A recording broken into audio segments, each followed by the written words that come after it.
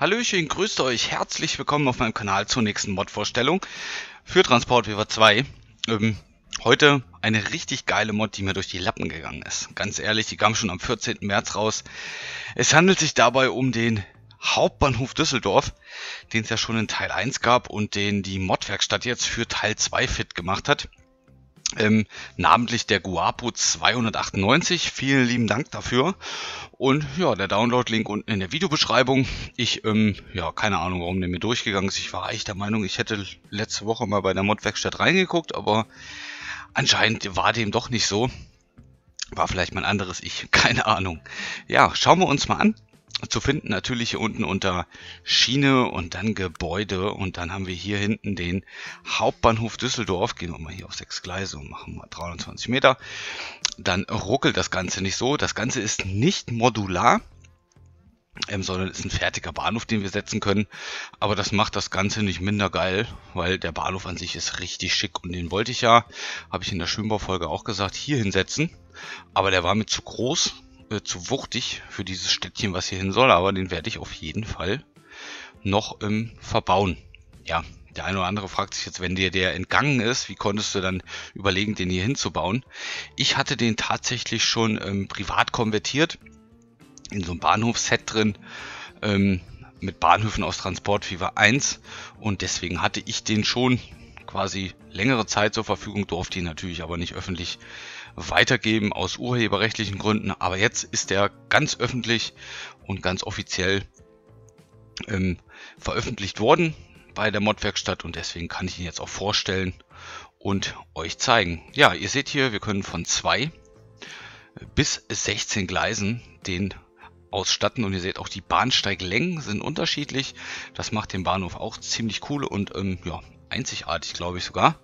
Ähm, Lass mich kurz überlegen, mir fällt gerade kein Bahnhof ein, der unterschiedliche Längen hat, den man fertig setzen kann. Modular geht das natürlich wunderbar, habe ich ja hier auch gemacht.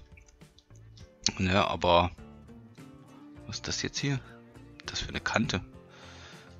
Das sieht ja seltsam aus. Kommt denn die Kante hierher? Aha. Kleiner Glitch, egal.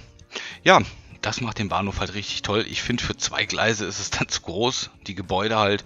Aber da kann ja jeder für sich selbst entscheiden.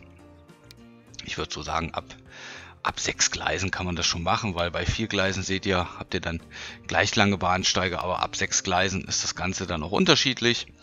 Ähm, hier haben wir das Hausgleis quasi ein wenig kürzer als die beiden Mittelgleise hier. Und dann haben wir hinten noch dreimal kürzere Gleise. Wir haben hier eine Überführung. Da müssten eigentlich auch, wenn mich nicht alles täuscht, genau, da gehen dann auch die Passagiere oben durch, wie ihr hier seht. Lass mich kurz gucken. Ne, Quatsch. Die gehen unten drunter durch. Hier oben geht keiner durch. haben wir dann hier unten die Unterführung quasi. Die Passagiere gehen dann hier rein. Mhm, lass mich mal kurz gucken. Die gehen hier rein und laufen dann unten drunter durch, genau. Und kommen dann, müssen wir irgendwo wieder rauskommen. Genau, hier kommen sie wieder raus aus den Aufgängen.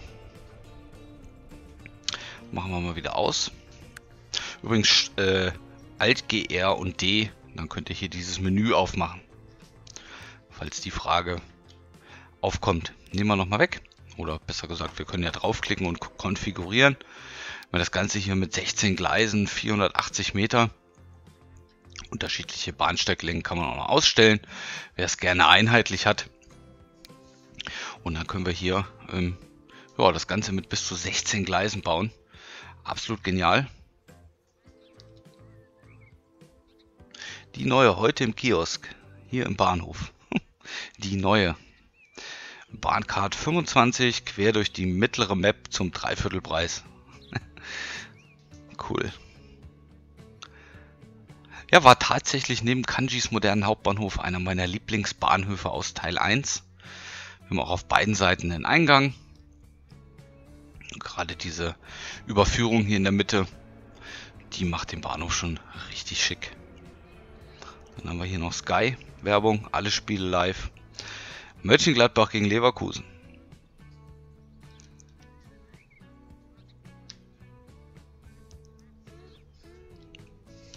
Haben wir auch Abfahrtstafeln, die CE nach Berlin.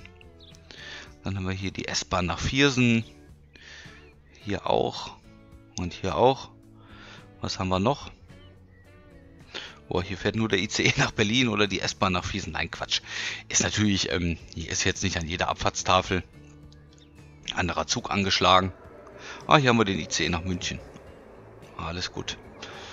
Kleines Gimmick noch. Dann haben wir hier das Hauptgebäude. Hier ist auch noch eine Uhr dran. Kurz auf die Uhr gucken. Wir haben tatsächlich 10 vor 9.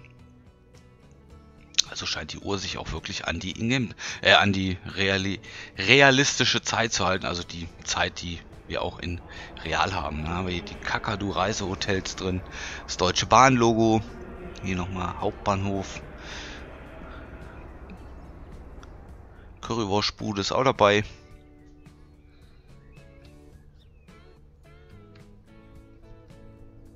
Hier haben wir auch noch so einen Übergang. Sehe ich gerade. Auch schön. Ist mir noch nie aufgefallen. Hier auch nochmal. Das ist aber, glaube ich, nur beim Hausgleis hier vorne, ne? Genau.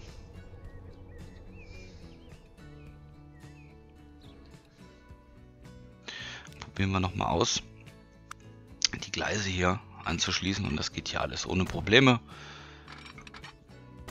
Da hat man ja ab und an bei Bahnhöfen, die erscheinen, das Problem, dass man da keine Gleise rausziehen kann, dass man dann Kollisionswarnungen bekommt, aber hier ist das Ganze problemlos möglich. Und das Schöne ist natürlich, man könnte sich jetzt hier noch ein Abstellgleis reinziehen oder halt hier im Bahnhofs...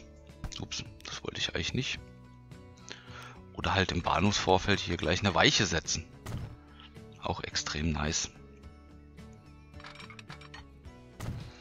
Kann man sich prima ausgestalten. Und was man noch machen kann, wenn man die Modras Mod aktiviert hat, dann kann man sich noch, äh, wenn ich es auf die Schnelle finde, hier nicht,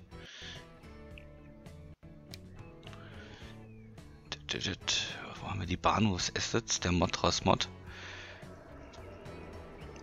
Wahrscheinlich ganz hinten, wie immer. Genau, hier. Hier haben wir noch Dächer. Ähm, das hier. Kann man das noch länger machen?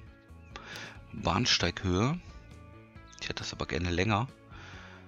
Skalierung, Länge, da haben wir es.